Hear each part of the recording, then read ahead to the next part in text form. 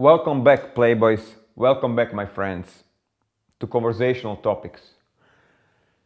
Today, I want to talk about smoothness, being smooth in transitioning from topic to topic.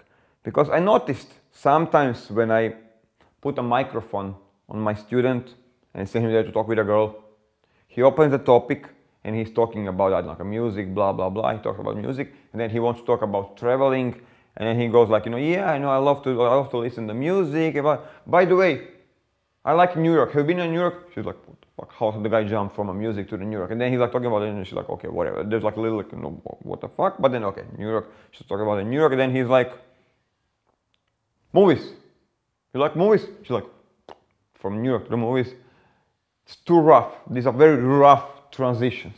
Okay, so and that's okay. Sometimes girls will notice and they will comment like, "What the fuck," you know. Sometimes they'll just swallow and go, but she doesn't feel good. She's not feeling good. It's not smooth. Okay, and it looks like okay, you have fucking check mark. Okay, we talk about this, we talk about this, bam, bam. bam. So it looks, it feels wrong. And I want you to be a smooth. Conversation has to be like a milk.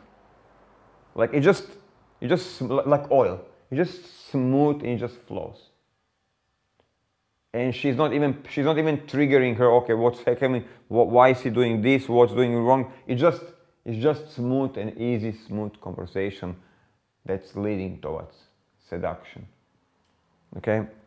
So to create that you need to have this smooth transitioning between topic to topic. So for example let's talk let's music and travel. Let's connect these two things in a smooth way. So you can say you know what I love music. Music is an important part of my life.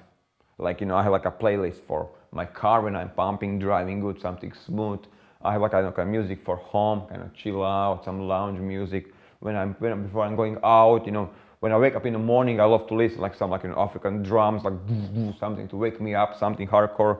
Music is important part of my life. Even when I travel, I take music with me because I like you know I like to kind of you know kind of be in an airplane, kind of listen to good music, you know, chill out, you know, kind of.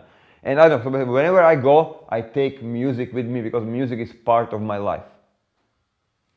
Speaking of which of traveling, you know, you love to travel. See how smooth was it.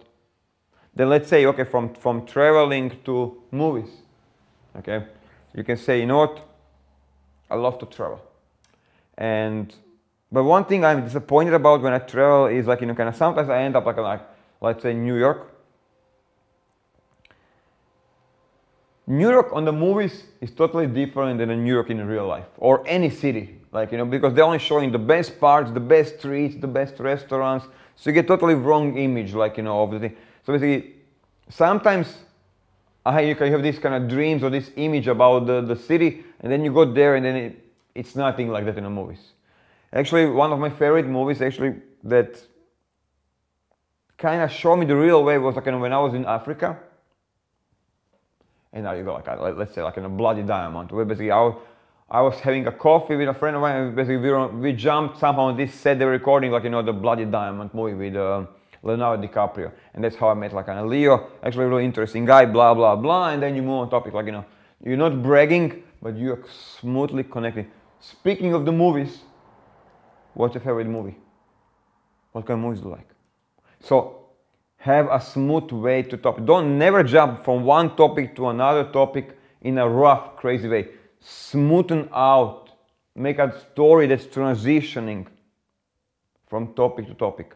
It's kind of having a bridge between things. And this is the wisdom of this week. If you liked this video, make sure you subscribe to my YouTube channel here to get more videos like this. As well, check out my other stuff here and make sure you visit badboylifestyle.com for other dating and seduction articles. Bye.